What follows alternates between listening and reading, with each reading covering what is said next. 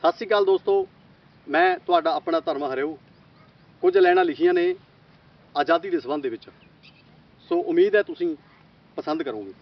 ਉਹ ਬਾਪੂ ਵੀ ਬਾਪੂ ਵੀ ਗੁਲਾਮ ਪੇਪੇ ਗੋਹਾ ਕੂੜਾ ਚੱਕਦੀ, ਓਏ ਦੋ ਡੰਗ ਰੋਟੀ ਲਈ ਥਾਂ ਥਾਂ ਤੇ ਧੂੜਾ ਫੱਕਦੀ।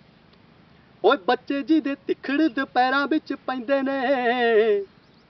ਉਹਨਾਂ ਨੂੰ ਕੀ ਪਤਾ ਕਿ ਆਜ਼ਾਦੀ ਕਿਹਨੂੰ ਕਹਿੰਦੇ ਨੇ? ਉਹਨਾਂ ਨੂੰ ਕੀ ਪਤਾ ਕਿ ਆਜ਼ਾਦੀ ਕਿਹਨੂੰ ਕਹਿੰਦੇ ਨੇ? ਉਹ ਫਸੇ ਮਜਬੂਰੀਆਂ 'ਚ ਬੈਠੇ ਨੇ ਲਾਚਾਰ ਜੋ। ਉਹ ਫਸੇ ਮਜਬੂਰੀਆਂ 'ਚ ਬੈਠੇ ਨੇ ਲਾਚਾਰ ਜੋ। ਓਏ ਕੁੜੀਆਂ ਦਰਿੰਦਿਆਂ ਦਾ ਹੁੰਦੀਆਂ ਸ਼ਿਕਾਰ ਜੋ। ਉਹ ਜਿਨ੍ਹਾਂ ਦੀਆਂ ਇੱਜ਼ਤਾਂ ਤੇ ਡਾਕੇ ਨਿਤ ਪੈਂਦੇ ਨੇ। ਉਹਨਾਂ ਨੂੰ ਕੀ ਪਤਾ ਕਿ ਆਜ਼ਾਦੀ ਕਿਹਨੂੰ ਕਹਿੰਦੇ ਨੇ? ਉਹਨਾਂ ਨੂੰ ਕੀ ਪਤਾ ਕਿ ਆਜ਼ਾਦੀ ਕਿਹਨੂੰ ਕਹਿੰਦੇ ਨੇ? ਓਏ ਬਚਪਨ ਜਿਹੜੇ ਬੱਚੇ ਹੋਟਲਾਂ ਤੇ ਗਾਲਦੇ ਓਏ ਕੂੜਿਆਂ ਦੇ ਢੇਰ ਵਿੱਚੋਂ ਰੋਟੀਆਂ ਨੇ ਭਾਲਦੇ।